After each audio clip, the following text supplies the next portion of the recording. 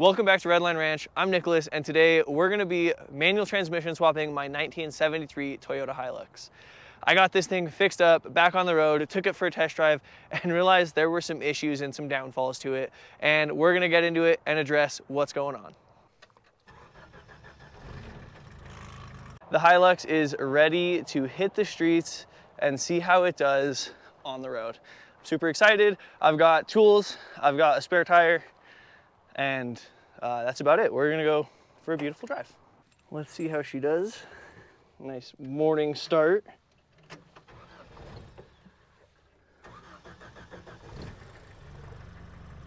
So the Hilux drives really well in some aspects.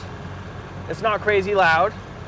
The ride quality isn't that bad. Potholes can be a little bit rough, but we're on 14 inch wheels. Um, the alignment is atrocious, but that is my fault for the steering. I didn't actually really align it very well. I eyeball aligned it, literally didn't take a tape measure. But the biggest issue is this darn transmission. The transmission cannot decide what gear it wants to be in. I think it's been in first, second, and third at 40 miles an hour. It barely keeps up with, I, see what I mean? I'm not doing anything with the gas pedal. The gas pedal is just chilling and the transmission just wants to kill itself, I guess. This thing needs something to change, whether it be the automatic or the engine or both. The steering, so. No traffic. This is, this is all she's got. This is all she's got. That engine does not sound super happy either. Literally foot to the floor. So, this might be an interesting drive. Some, some 86. Only the worst for the Toyotas. They really don't care. It's in drive right now, and if you just let off the gas, it'll start shoving you down into like, there we go. Just shoves you down into second gear. Oh, yep, there we go. This is what I'm talking about. And it just decides it can't find a, a gear to save its life. So I'm gonna either have to put a transmission in it. I might service this transmission and see if it helps. Uh, maybe this thing just gets a whole drivetrain swap. We got a straightaway. We're doing a top speed run. 70. Holy shit, 75? Okay, I heard tires going squeak, squeak, squeak over that bump. Holy crap, this thing is scary as all get out at 80 miles an hour. Whew. And I smell a little bit of coolant. We might pull over and assess here in just a second. We are here in Golden, New Mexico. We're on our way to Madrid, New Mexico, and I always like stopping at this little Henderson store. I'm really enjoying the Hilux. It's such a cool vehicle, and I get so many awesome looks and waves and just acknowledgement in this thing. I love driving it around, and I cannot wait to see what we can do with this thing. I'm really excited to have it back on the road. We made it to Madrid, and we are in front of the Mineshaft Tavern. This is an awesome little town. It's absolutely gorgeous there are tons of small boutiques and art galleries and different little just small local shops. It is definitely a super friendly little town and I am very thankful to live as close as I do. The odometer on this thing looks like it works. You can see it's going from four to five right now. But we have driven about 65, 70 miles and the mile marker has not moved once. The tenths of a mile has moved a hundred times, but it just stays at 39. So that's unfortunate, but it is what it is. One of the things I've noticed driving though, is that these brakes, so much better, very responsive. They feel like actual brakes and I'm not feeling like I uh, can't stop. So that's awesome. That, that, that's a good step. After taking it for all of that drive and realizing that this transmission is really just garbage, it robs a bunch of power, it can't stay in gear, it was really jerky. It actually hurt my neck from how much it was and how aggressively it was downshifting. So I decided I was going to be putting the manual transmission from my 1988 Toyota pickup into it. I got that transmission when I got my 1988 Toyota pickup that I actually turned into my turbo street truck. I've got videos linked about that on my channel. It's an awesome build and worth the watch. It left me with some spare parts when I did that swap. So I've got a G57 manual transmission, which is a five speed that bolts to the 18R that is in the Hilux, as well as clutch lines, a clutch master and slave cylinder. And I have the clutch assembly from an 04 Tacoma that I used for an engine swap years ago. We're gonna be putting a bunch of miscellaneous Toyota parts into this build Hopefully everything goes super smooth and well. I think that the transmission's gonna bolt in and the drive shaft might even work. Who knows? That's how the turbo truck did. And we're gonna get this thing back on the road and a hundred times better than it was. Let's see if she still starts so good.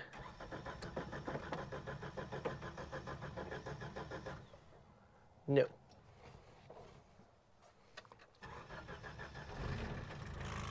Oh, there we go.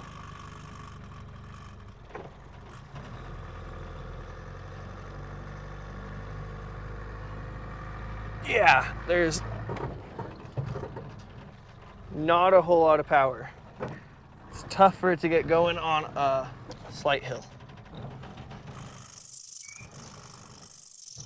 We're gonna be getting back under the Hilux, so we're gonna get it up in the air and we're gonna start working on the undercarriage.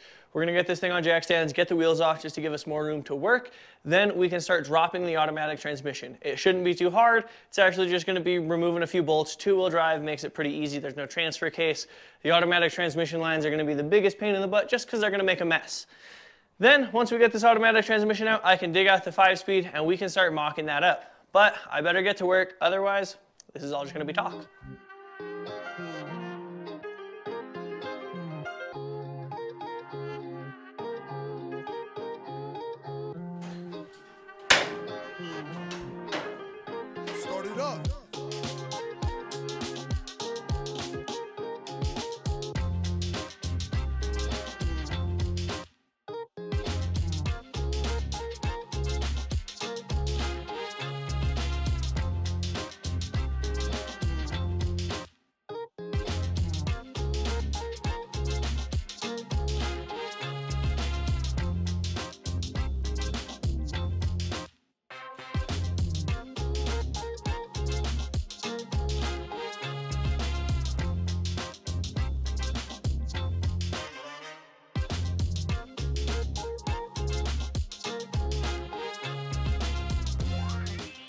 We got the Hilux transmission out. This thing is actually really small, but that's okay. We got everything out. I went ahead and I dug around in my pile of flywheels and clutches and I found the 88 Toyota four cylinder clutch that I have.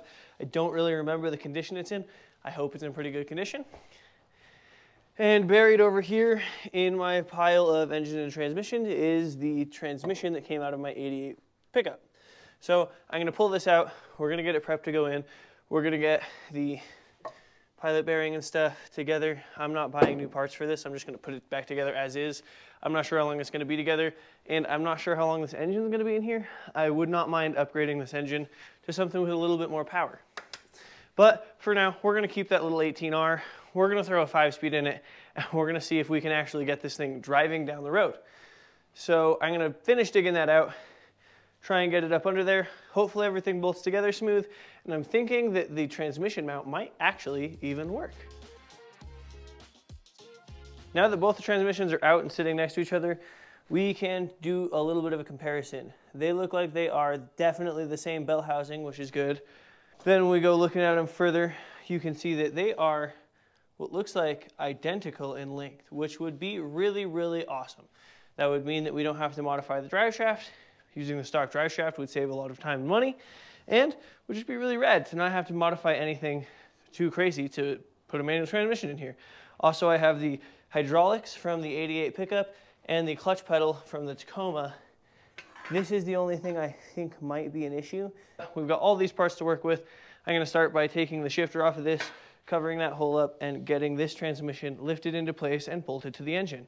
Well, to say this clutch is less than ideal is an understatement. but there's still a little bit of life left on it.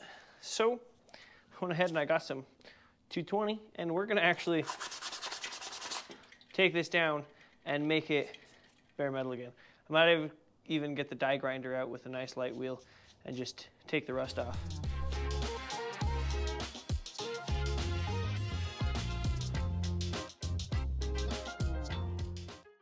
We have refurbished the flywheel, the pressure plate, and the clutch disc, which, like I said, has quite a bit of life left on it. So we're going to throw it back in because I don't think this thing's going to make crazy high horsepower or anything like that. And it slides on pretty smooth. So we're going to go ahead. We're going to now go under there. We're going to throw this flywheel on, and then we're going to throw the clutch together. Then we can throw the transmission in and start mocking up the transmission mount, which, like I said, I think I'm going to need to do a little bit of fabrication on.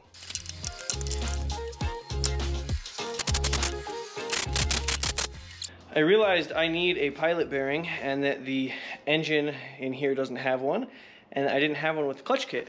But I do have this mock-up engine that I have. It's a 3RZ and I'm gonna go ahead, I'm gonna pull the pilot bearing out of this thing and I'm pretty sure it's the right one.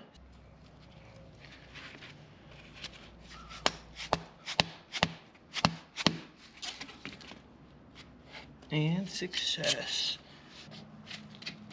So this bearing is definitely the proper bearing. Oh, look at that. Looks like it's gonna be fantastic.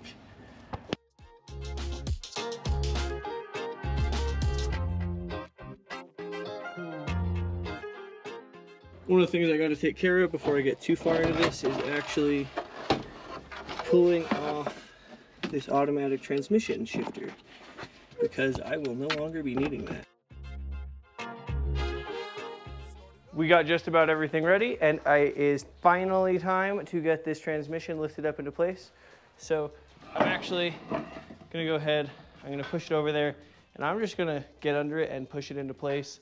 I've done it a few times. I just get under the transmission, bench press it into place, and it usually works pretty good for me, especially on these smaller two-wheel drive transmissions. So I'm gonna get under there. We're gonna get this thing up into place, a couple bolts into it, and then we can start looking at how we can get this transmission cross member in.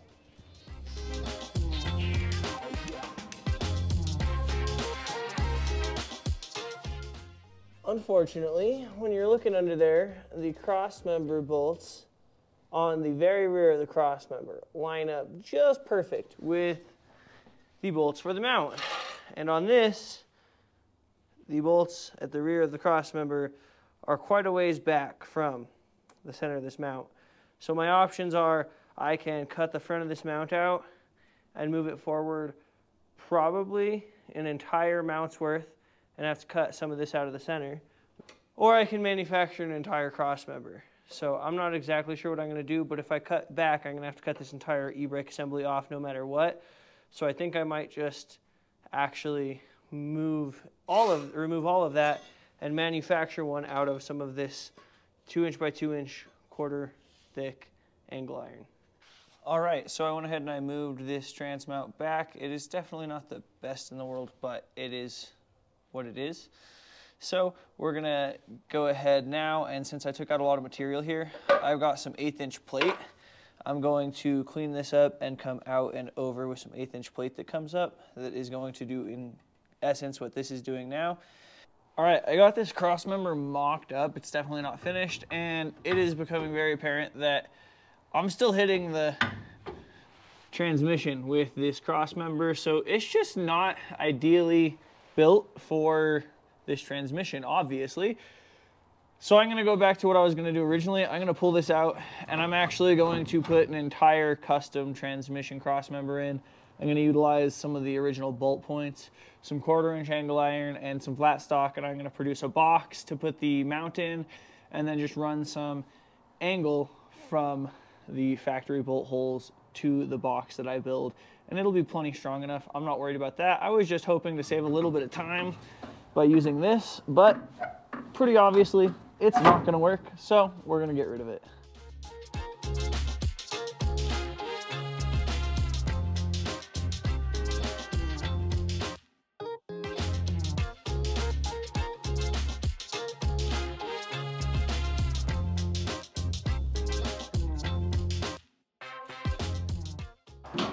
Right, so we got this box made up and it's super stout, not going anywhere. But when I went to go mock it up on the transmission, you can see that it's like cut out here. Well, the transmission hits right here.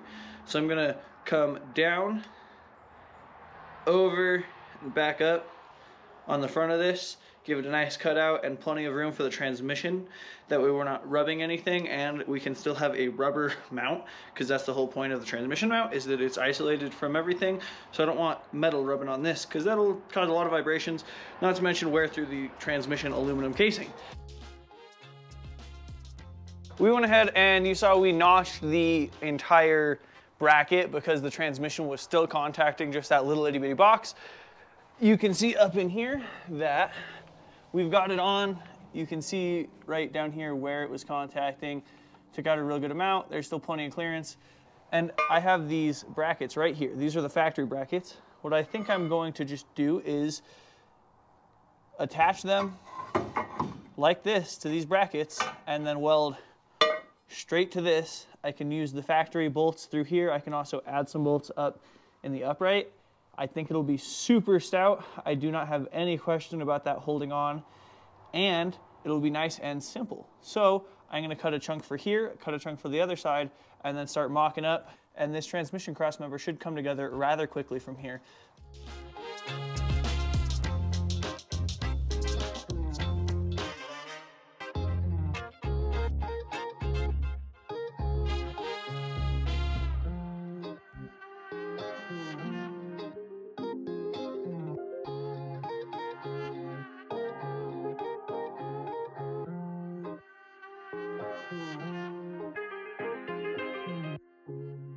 Finish welding this out. I put some 45s or some angles on these so they look better. Shouldn't touch it. I just put a coat of paint on it. It should be dry to the touch in about 20 minutes is what it says. So while that's drying, I'm gonna go ahead, I'm gonna jump into the cab and we're gonna start working on the pedal assembly because I'm gonna need that soon. And I've got that pedal assembly out of the Tacoma and I'm really hoping that it fits in here this is the pedal assembly we're working with. It's out of a Tacoma. It is separate from the brake assembly. When I was looking, there's a third hole in the top of the firewall right there that actually looks like it might line up once everything's through. So I want to make sure that we're taking our time to try and make sure this is lined up as best as possible punch a couple holes through for the studs and hopefully everything lines up real well. And this should honestly be fairly simple. Then I'm probably gonna have to do something about this brake pedal. Either swap the pedal out or cut it. And I haven't really decided which I was gonna do yet.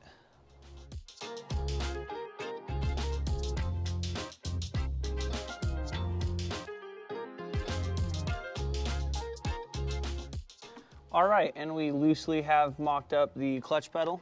So now we can go ahead and we can start mocking up these hydraulics. So I'm gonna route all of this the way it needs to be routed, hopefully get it in there pretty good, and then we're gonna put this master cylinder in and bolt the slave cylinder to the transmission.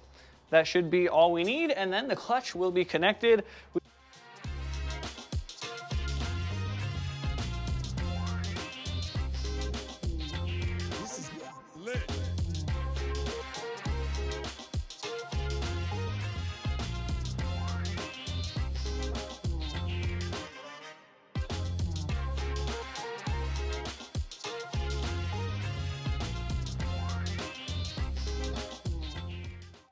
Look at that.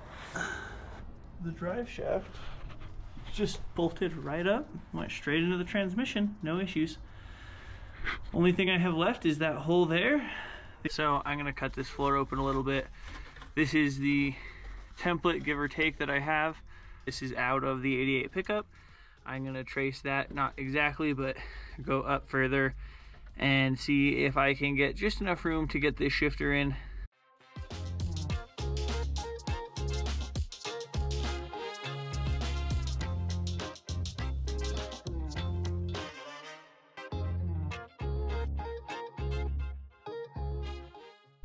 right, so we got a lot of things done. We've got the clutch hydraulics in. We've got the line routed. I put some rubber on it because it's kind of rubbing the firewall there just for some clearance.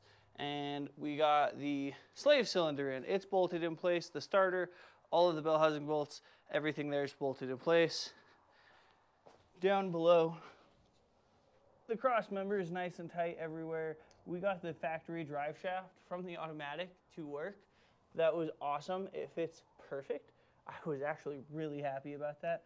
The factory e-brake is not gonna work. I'm gonna have to make a bracket off of my cross member. Also, the front cable from the cross member forward to in the cab is seized. So the emergency brake or parking brake didn't work anyway. Inside the cab, we got the shifter in place. We got the boot that I had in place, which isn't the best, but it's better than nothing. We're gonna have to do something about that pedal situation. For now, I'm actually just gonna grind off a couple inches just so they're not touching and I have a little bit of clearance. That should be enough to be able to drive it around, take it for a test drive. I feel like I could get used to it. We're getting close. All I have left is to put the wheels tires back on, make sure it starts. I think I'm gonna need the park sensor out of that or to jump some wires in the connector up here. And then we can go for a test drive.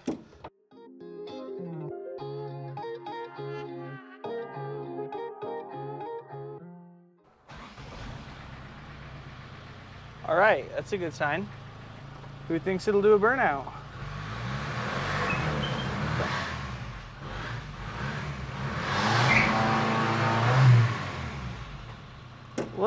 That.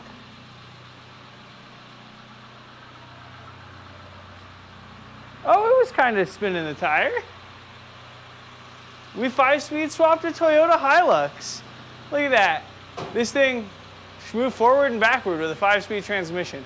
And I can guarantee it is going to run a thousand times better than that automatic over there that we tore out of it.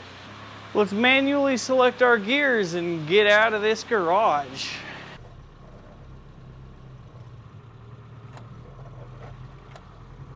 All right, we finished the Hilux up and it is time to take it for another test drive. Excited to see how it feels with the five speed and see how it feels when the transmission isn't just making it absolutely miserable to drive. So we're gonna go ahead, we're gonna jump in it, we're gonna take it for a drive, and we're gonna see how the new transmission feels. We're in the Hilux, let's take it for a drive. Starts up as good as it always has. Oh my God. So much better. This is a night and day difference. I am genuinely, it makes driving this thing a whole different experience. This thing almost feels like it's peppy, for lack of a better term. It feels amazing. Takes third gear uphill it's a five speed, which I don't know if they ever came with a five speed in 1973. Oh, and the previous owner actually texted me and said they had a good rear window lying around. So I was like, let me know when and I will come pick it up. This feels so much better. I am stoked. I'm beyond excited. All five gears are there. The clutch seems to be working great. It is at the exact same height as the brake pedal and it's got full range of motion. The steering's of course still not great. I need to hook up the speedometer. I, I, I forgot to do that. So I'm actually probably peeing some gear oil out. So I'm gonna get back to my house, make sure this thing's got gear oil in it because I didn't even double check that and do a couple other things to make sure this is dialed for road use. This has completely changed how I feel about this truck. I'm really excited to take it for a longer drive now. I need some more comfortable seats and I'm not sure what I'm gonna do there. If you know of any seats that fit really well in a small pickup, let me know down below in the comments because these seats are uncomfortable. They really are. I'd like something that is a little bit smaller, maybe something that can recline. Overall, truck feels a ton better a manual transmission was definitely the right choice to make in this case. I had everything laying around in my shop. I genuinely did not spend a single dime putting a manual transmission in this thing. I used a bunch of used parts. I fabricated some things and all in all, it worked out fantastic. So thank you for watching, thank you for subscribing, and I really hope to catch you on the next one.